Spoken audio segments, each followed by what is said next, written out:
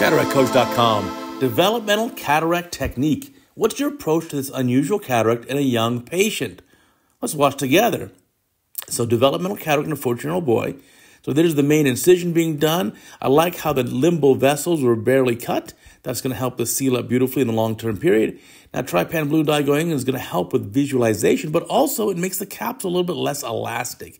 And that's helpful in a case like this, where a 14 year old boy, you're expecting the capsule to be very elastic, and that can mean less control as you make the rhexis. So, putting a trypan blue dye is, is an important move there. Now, here's one paracentesis, here's another, so probably a bimanual irrigation aspiration coming up. Let's take a look. More viscoelastic. Let's see the rhexis. Let's get to it. Show me. Now, sometimes the cystotome is helpful in these eyes, but here just with the forceps. So poking in here. Now, the nice part of that developmental cataract is you can just trace the edge of it and get pretty much a five millimeter X. That looks about five millimeter diameter, and you'll get a beautifully round rhexis. Now, key question here is, what was this cataract like a year ago, five years ago, 10 years ago, when the baby was born?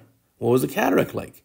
Now, if it was a minimal cataract and then recently got worse, that's going to make life a lot easier for us. Now, if you're a young surgeon trying to learn all this stuff, cataractcoach.com is for you. It's a fantastic website. It's totally free. Free book about how to learn cataract surgery. Free 25 part curriculum series. Free series on how to do lens calculations. Free series on how to set up your phaco machine. Choose the right phaco settings for fluidics and power. It's all there. It's all free. Now, you want to get this nucleus out of the bag. This thing is butter soft. You do not need any ultrasonic power to remove this cataract. Vacuum only. In fact, I could even do the whole thing with the IA probe. I wouldn't even use the phaco probe. But doing the phaco probe is fine if you got good control. If you inadvertently give a little phaco energy, zzz, it'll go right through the capsule. It'll go right through the nucleus and pow, right through the capsule. You don't want that.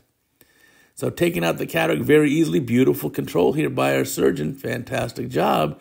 And now let's clean this up. So, time for some cortex removal. Now, saying if this patient had a reasonably clear visual axis, then there probably wasn't much developmental amblyopia. However, this patient had a blurred or obscured or blocked visual axis since birth, there's going to be some dense or profound amblyopia, and that's going to limit the post op vision. Now, I don't have any history here, so I'm not quite sure, but in a case like this, even then, I'd still tell you for this patient, this unilateral cataract like this, you're best off putting in a monofocal lens. I'd put a monofocal lens and essentially aim for plano, which would be great if the patient had some growth in the axial length and therefore became a little myopic later in life. That's okay. A little myopia is a gift. If the myopia is too much to tolerate compared to the other eye, you can always do keratorefractive procedures such as LASIK or PRK for this patient. I think LASIK would be great if needed in the future. Now, cleaning up here, these lens epithelial cells in a young person are pretty aggressive, so you want to clean up as much as you can. So bimanual irrigation aspiration, really want to clean all that up, polish the undersurface of the anterior capsular rim. Nicely done here, beautiful. Switching hands to get full 360 access. And then going to be putting in a monofocal lens, I'm assuming. And so here, switching hands, you get good access. Now, are you doing these under general anesthesia? Maybe for a 14 year old, but you probably could also do them under pretty good sedation if you had an anesthesiologist who's willing to give significant sedation. I think 14 is kind of the gray zone. You got to determine patient by patient what you can get away with. And when in doubt, just do the general anesthesia. These are young, healthy people, and they'll do fine.